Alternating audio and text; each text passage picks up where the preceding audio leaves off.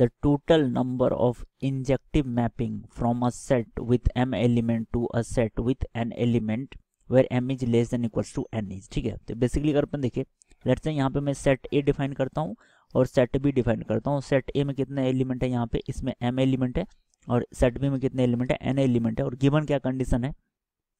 Given है कि M की value less than equals to N है। बेसिकली लेट्स से अगर मैं यहाँ पे इंजेक्टिव मैपिंग क्या होता है? वन वन मैपिंग ठीक है?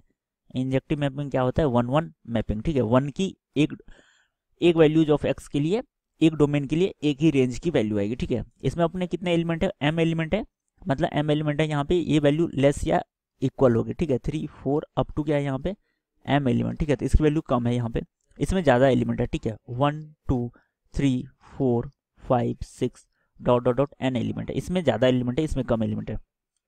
अब इंजेक्टिव मैपिंग क्या होता है? इंजेक्टिव मैपिंग होता है कि इसका जो होगा। इसका अगर मैपिंग जिससे हो गया टू उससे मैप नहीं होगा टू के लिए कोई दूसरा एलिमेंट होगा, ठीक है?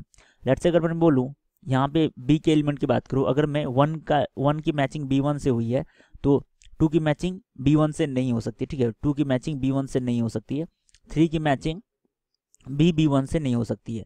टू की मैचिंग कोई लेट से यहाँ पे बी टू से होगी, ठीक है? अब इसकी मैचिंग बी टू से भी नहीं होगी, इसकी मैचिंग क्या होगी? बी थ्री से। तो इनडायरेक्ट इनडायरेक्टली अगर अपन बोले इंजेक्टिव मैपिंग के लिए क्या होना चाहिए? जितने एलिमेंट इसमें है, उतने एलिमेंट इसमें भी होने चाहिए, ठीक है? तो अब इसमें एम एलिमेंट है, इसमें एन एलिमेंट है तो इसमें से लेट से मैं क्या करूँगा? एम एलिमेंट सेलेक्ट करूँगा, ठीक है? बी से मैं बी से पहले एम एलिमेंट में सेलेक्ट करूँगा, ठीक है? अब इसमें एम एलिमेंट हो गया, इसमें एम एलिमेंट है, इस एन में से मैंने एम एलिमेंट सेलेक्ट किया अब क्या हो गया? एम के लिए एम मैपिंग हो जाएगा यहाँ पे, ठीक है? अब यहाँ पे भी एम एलिमेंट यहाँ पे भी एम एलिमेंट अब इसको अपन कैसे अरेंज कर सकते हैं? एम फैक्टोरियल से। तो बेसिकली अगर अपन देखें तो इंजेक्टिव मैपिंग क्या होगा यहाँ पे? अगर अपन यहाँ पे इंजेक्टिव मैपिंग की बात करें तो इंजेक्टिव मैपिंग आ जाएगा यहाँ पे एन सी एम इस एन एलिमेंट में से एम सेलेक्ट करें और फिर एम का एम से मैपिंग अपन कैसे करेंगे? एम फैक्टोरियल से, ठीक है? तो ये यहाँ पे इसके लिए क्या आ जाएगा?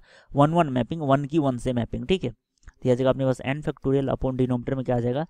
एन माइनस एम फैक्टोरियल और क्या आ जाएगा यहाँ पे एम फैक्टोरियल और ये एम फैक्टोरियल तो ये आपस में कैंसिल आउट हो जाएगा और फाइनल आंसर क्या आ जाएगा यहाँ पे एन फैक्टोरियल अपॉन में N minus M factorial answer कौन सा हो जाएगा यहाँ पे option C is the correct answer